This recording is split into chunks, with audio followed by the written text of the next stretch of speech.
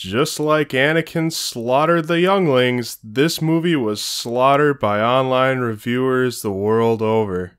And much like Anakin, they were thorough, not just the men, but the women and the children too.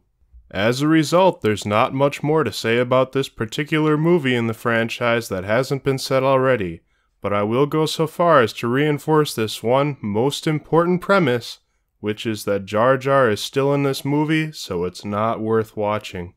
In fact, watching this movie, I would go so far as to say would have a net negative impact on your entire life experience. This movie's like sand, which is to say that once you see it, you can't unsee it. It's like sand, it gets everywhere.